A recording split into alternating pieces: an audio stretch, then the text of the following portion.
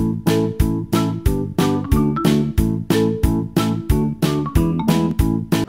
pagi semuanya. Apa kabar? Sir kita semua dalam keadaan sehat dan baik-baik saja dan tetap semangat dalam belajar matematika. Di pertemuan kali ini kita akan membahas tentang bagaimana menyelesaikan masalah optimasi yaitu nilai minimum. Baik, pada pembahasan kali ini kita akan belajar meminimumkan fungsi tujuan di mana fungsinya berbentuk fx, y sama dengan ax tambah by. Persyaratan atau kendalanya berbentuk X lebih besar dari atau sama dengan 0 Y lebih besar dari atau sama dengan 0 AX tambah BY lebih besar dari atau sama dengan C PX tambah QY lebih besar dari atau sama dengan R Baik, di sini saya berikan kembali untuk apersepsi di antara titik-titik berikut, manakah titik yang membuat nilai fungsi fx, y sama dengan 6x tambah 5y menjadi minimum? A 2,2 B 3,1 C 4,0 D 0,5 dan E 1,3 baik kita akan jawab. Substitusikan titik-titik pada pilihan ke fungsi fx, y sama dengan 6x tambah 5y ya pilihan A di sini f2,2 berarti kita substitusi menjadi 6 kali 2 ditambah dengan 5 kali 2 nilainya sama dengan 22 f3,1 ya pilihan yang B sama dengan 6 kali 3 ditambah 5 kali 1 sama dengan 23 F4,0 yang pilihan C sama dengan 6 kali 4 tambah 5 kali 0 sama dengan 24 kemudian F0,5 pilihan yang D sama dengan 6 kali 0 ditambah 5 kali 5 sama dengan 25 F1,3 sama dengan 6 kali 1 ditambah 5 kali 3 sama dengan 21 ya jadi dari pilihan-pilihan ini yang terkecil atau yang paling minimum adalah 21 baik jadi titik yang membuat nilai f x, y sama dengan 6x tambah 5y menjadi minimum adalah titik 1,3 jadi jawabannya adalah E Baik, di sini saya berikan contoh yang pertama. Sebuah toko pertanian menyediakan dua jenis pupuk, yaitu standar dan super. Dalam setiap sak jenis pupuk tersebut mengandung campuran bahan nitrogen dan fosfat dalam jumlah tertentu. Setiap sak pupuk standar mengandung campuran 2 kg nitrogen dan 4 kg fosfat. Setiap sak pupuk super mengandung campuran 4 kg nitrogen dan 3 kg fosfat. Seorang petani membutuhkan paling sedikit 22 kg nitrogen dan 24 kg fosfat untuk lahan pertaniannya. Harga pupuk standar dan super masing-masing Rp30.000 dan Rp50.000. Petani tersebut ingin mengetahui berapa sak masing-masing jenis pupuk harus dibeli agar total harga pupuk mencapai minimum dan kebutuhan pokok terpenuhi. Baik, kita akan jawab contoh yang pertama, tetapi di sini serganti tulisannya menjadi warna-warni ya. Ini tujuannya agar kalian mudah menentukan model matematika ya. Baik, kita akan jawab. Misal banyak pupuk jenis standar sama dengan X. Perhatikan yang di sisi kiri ini sudah sergaris bawahi ya banyak pupuk jenis standar sama dengan X kemudian banyak pupuk jenis super sama dengan Y ya. Kemudian buatlah tabel di sini untuk jenis pupuk dan bahan kimianya ya. Untuk jenis pupuk ini sudah jelas yaitu standar dan super. Untuk bahan kimia itu adalah nitrogen dan fosfat.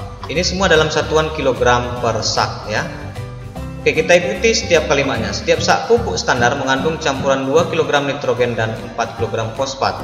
Maka dari standar ke nitrogen kita tulis di sini 2 ya. Oke, paham?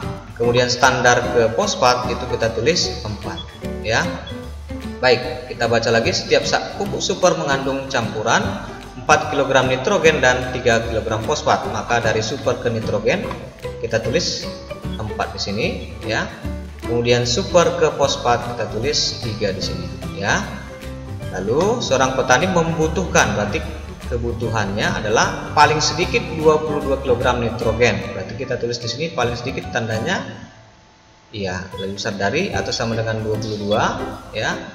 Kemudian fosfatnya lebih besar dari atau sama dengan 24 baik setelah kita tentukan ini kita masuk ke persyaratan atau kendala tapi sebelumnya ini buat dulu variabel x dan ini variabel y.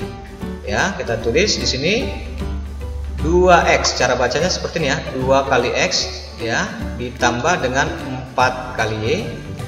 Lebih besar dari atau sama dengan 22 ya. Kemudian 4 kali X ya ditambah 3 kali Y.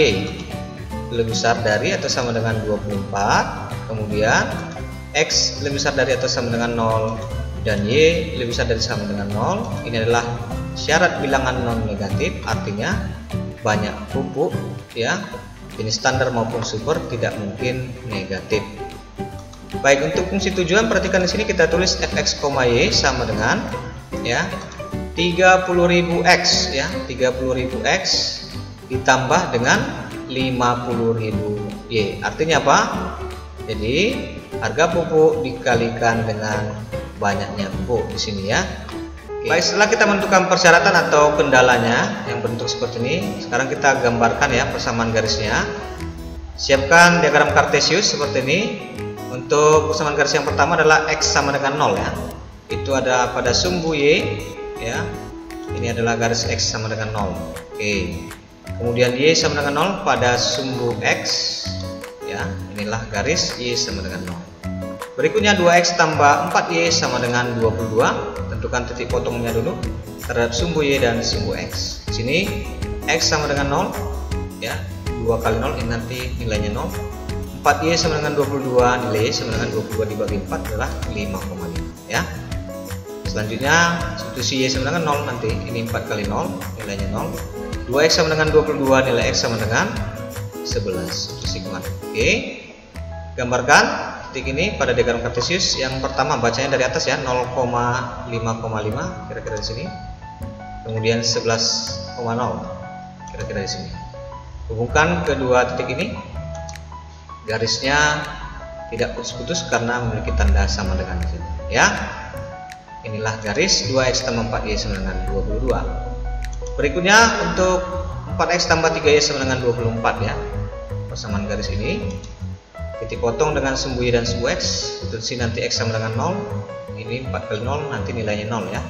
3y sama dengan 24 nilai y sama dengan 24 dibagi 3 ya 8 selanjutnya y sama dengan 0 3 kali 0 ini nanti nilainya 0 4x sama dengan 24 x sama dengan 6 ya 24 dibagi 4 tulis di sini 6 baik kita gambarkan 0,8 ya di sini. 6,0 di sini oke hubungkan. Garisnya tidak putus-putus karena memiliki tanda sama dengan. Inilah garis 4x tambah 3y sama dengan 24 setelah kita mendapat gambar dari persamaan garisnya di sini kemudian kita akan tentukan BHP ya. Saya ambil titik selidik di sini 1,1 1,1 di sini ya titik selidiknya kemudian substitusi titik itu ke pertidaksamaan X lebih besar dari atau sama dengan 0 substitusi X nya saja. Sehingga nanti tulis 1 lebih besar dari atau sama dengan 0 pernyataan 1 lebih besar dari atau sama dengan 0 adalah pernyataan yang benar. Maka dari garis X sama dengan 0 di sini ya kita arsirlah ke kanan ya. Baik. Berikutnya substitusi nilai Y nya ya 1 ke pertidaksamaan Y lebih besar dari atas sama dengan 0 sehingga nanti diperoleh 1 lebih besar dari sama dengan 0 pernyataan 1 lebih besar dari atas sama dengan 0 adalah pernyataan yang benar. Maka dari garis Y sama dengan 0 ini arsirlah ke atas ya. Perhatikan di sini daerah persegi ini sudah dua kali mendapat arsirannya. Berikutnya substitusi lagi titik 1,1 ke pertidaksamaan 2x tambah 4y lebih besar dari atau sama dengan 22 sehingga nanti diperoleh ini 2 tambah 4 ya 6 lebih besar dari atau sama dengan 22 ini adalah pernyataan yang salah ya seharusnya lebih kecil gitu ya. Baik karena salah maka titik selidik di sini eh, jangan diarsir tapi dari garis 2x tambah 4y sama dengan 22 ini arsirlah yang berlawanan dengan titik selidik di sini yaitu ke kanan atas. Oke. Baik berikutnya ya. Substitusi titik 1,1 ke bentuk 4 4x tambah 3y lebih besar dari sama dengan 24 sehingga nanti diperoleh 7 lebih besar dari sama dengan 24 pernyataan 7 lebih besar dari sama dengan 24 adalah pernyataan yang salah seharusnya lebih kecil ya. Oke maka dari garis 4x tambah 3y sama dengan 24 di sini. Jangan arsir ke titik selidik 1,1 tapi arsirlah yang berlawanan yaitu ke kanan atas. Oke? Udah bisa diperhatikan ya daerah yang paling banyak mendapat arsiran. Oke? Ini saya munculkan daerah yang berwarna merah ini ya arsiran merah. Ini yang disebut dengan DHB ya DHB singkatan dari daerah himpunan penyelesaian Selanjutnya, untuk mengetahui titik potong eliminasi persamaan 2x tambah 4y sama dengan 22, 4x tambah 3y sama dengan 24. Kita akan eliminasi. Ya, susun dulu persamaannya seperti ini.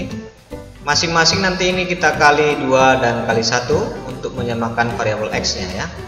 Sehingga nanti dapatkan 4x ya ditambah 8y sama dengan 44 ya. Ini masing-masing dikali 2 ini masing-masing dikali satu jadi 4x tambah 3y sama dengan 24 kita lihat di sini variabel x nya sudah sama.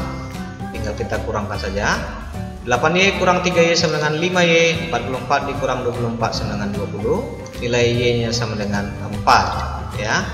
Setelah nilai y didapatkan kemudian kita substitusi y sama dengan 4 ke persamaan yang pertama sehingga nanti diperoleh y sama dengan 4 substitusi ke 2x tambah 4y sama dengan 22 ya. 2x ditambah 4 kali 4 sama dengan 22 2x sama dengan 6 ya. 22 dikurang 16 ya. Nilai x sama dengan 3 baik jadi titik potong garis 2x tambah 4y sama dengan 22 dan 4x tambah 3y sama dengan 24 adalah 3,4 Baik, setelah kita mendapatkan titik potong antara garis 4x tambah 3y sama dengan 24 ya. Dan 2x tambah 4y sama dengan 22 di sini yaitu titik 3,4. Kemudian kita akan menentukan titik-titik pojok yang diperoleh yaitu 11,0 di sini ya. Kemudian 0,8 di sini dan tentunya 3,4 di sini ya. Oke, pemilihan titik-titik pojok di sini bertujuan adalah untuk menentukan nilai minimum. Baik, substitusi titik-titik pojok terhadap fungsi tujuan. Ya, fungsi tujuannya adalah fx, y sama dengan 30.000x ditambah 50.000y. Untuk titik pojok yang pertama 11,0 nanti kita substitusi ya sehingga kita dapat 30.000 dikali 11 ditambah 50.000 dikali 0 sama dengan 330.000 kemudian untuk titik 0,8 di sini substitusi sehingga nanti didapat 30.000 dikali 0 ditambah 50.000 dikali 8 sama dengan 400.000 berikutnya untuk titik 3,4 substitusi sehingga nanti didapat 30.000 dikali 3 ditambah 50.000 dikali 4 sama dengan 290.000 dari nilai yang sudah kita dapat ini perhatikan nilai yang paling minimum yaitu 290.000 jadi untuk mencapai harga minimum pupuk yang harus dibeli yaitu tiga sak pupuk jenis standar ya yaitu X nya yang tadi pemisalan X nya adalah uh, pupuk jenis standar dan 4 sak pupuk jenis super ya ini pemisalan untuk ini. Jadi memang nilainya tadi kita lihat adalah yang paling minimum oke. Baik sampai di sini penjelasan sir. Untuk penjelasan dari contoh yang pertama paham ya kira-kira? Demikianlah materi pembelajaran kita pada hari ini. Agar kalian lebih terampil dalam mengerjakan soal maka kerjakanlah latihan soal yang ada di Modo dan kumpulkanlah waktu.